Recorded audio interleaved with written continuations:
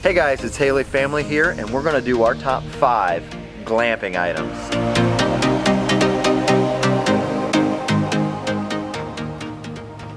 Brian, what are you doing?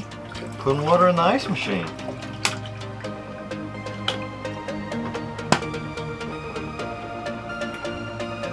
Let's go make a video. All right, guys, let's face it. I did not grow up tent camping, so when Brian said, hey, let's become a camping family, I got nervous, right? okay, so we are what you call glampers, and we are weekend warriors. So we go out, we have fun, but we still have a home to go into. And today we want to tell you about our favorite things that are not necessities, but things that we found that make our lives camping easier. Uh, number five is Beddy's. If you've never heard of Beddy's before, this will change your life. And I wish they were cheaper because I would have them on every bed that I own, except for they're expensive. So They are awesome. They're very cool. it's, it's really awesome. So what Beddy's is is it's zipper bedding, and it's it's more than like a twin bed. So we have it on our our bed, which is a little bit bigger than a full size bed, but not quite a queen size bed in the camper. So when you go to order a Beddy's, make sure you measure your mattress, especially in an RV because they're not always standard size mattresses. But what it does is it is it is like a fitted sheet. It goes on like a fitted sheet. It is your bed sheet, it is your blanket, it is your comforter, it is everything all in one, and it zips closed. So making your bed is so simple. I don't make our bed at home because I don't have time. I get out of, I jump out of bed and it, it just, we just roll. So when we're camping, we can at least zip everything together and it looks pretty, especially when you have people in and out of your camper. So It's like a super sleeping bag. it is. It's like a sleeping bag, and like the side kind of comes out, so you zip it um, open, and when you open it, it's like this little sheet comes out, and we got the minky lined one, so it's super cozy. It's nice. so our number four is Roku or smart TVs. And the reason why these are so nice, you can make your phone a hotspot, Mm-hmm. rainy day outside, the kids got something to do, and they're just so darn convenient. They're Yes. so nice, and you can watch YouTube on them. It's awesome. It's awesome.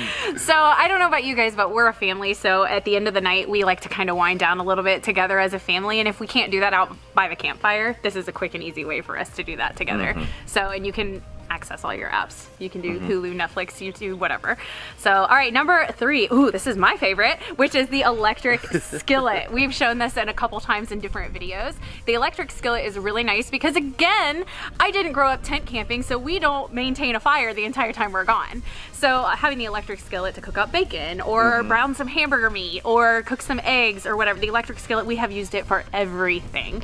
And it's quick and easy and it doesn't mm-hmm. take a whole lot of, it doesn't take a campfire to maintenance it and it doesn't take a whole lot of electricity. Mm -hmm. And you can plug it in right outside if you got an electric outlet. Absolutely. It's it's nice because you can awesome. cook outside too, so it, it it's a win-win. Yeah.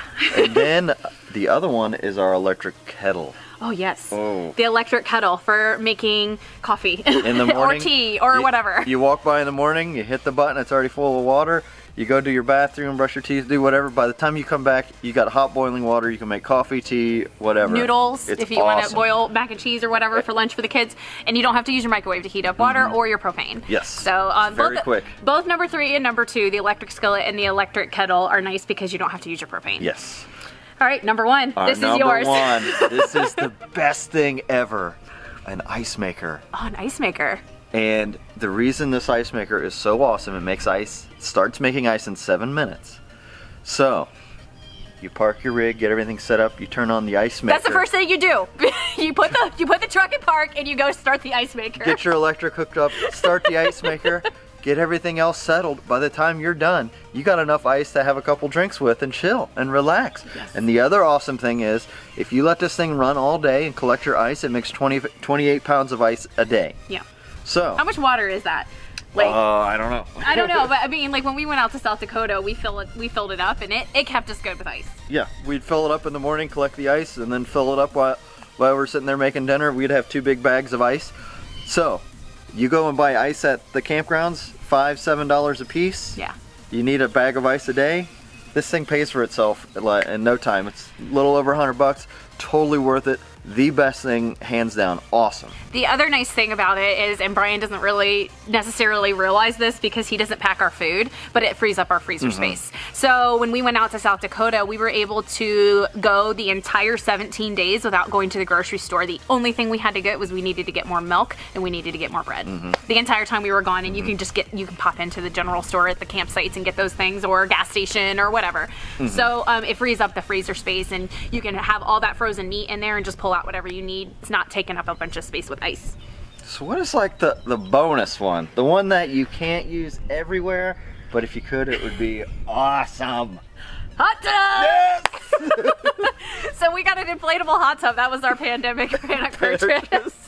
So we figured we wouldn't be doing a whole lot of camping this summer because of all of the stuff going on um, right now. So we decided to get an inflatable hot tub for our deck at home. Now you can take the inflatable hot tub. We have friends that do it. They take it camping with them. So you want to just definitely make sure you ask at the camp store or where you uh, where you register before using that because it does use quite a bit of I water. mean, there's nothing better than popping up your inflatable redneck hot tub out there, drinking a couple beers, and your camping neighbors walk by. I mean, it's like, Absolutely. Absolutely. So that has been a great bonus purchase, and we've used Mm-hmm. it nearly every day since we got it.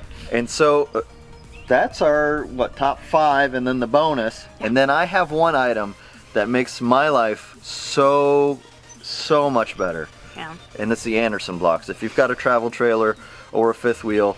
These things save you so much time. They really do. And, I mean, once you use them, you'll never go back. They're so convenient. Yeah. Uh, we have with little kids, and our rule is they have to stay buckled until we are done parking the camper, and it has cut down our time probably 15 minutes. Yes, yes, it is so nice. Yeah, and there's not too many places you go where it's level sites. Mm-hmm. Well, that's our uh, our top uh, five with a bonus, and then a must-have.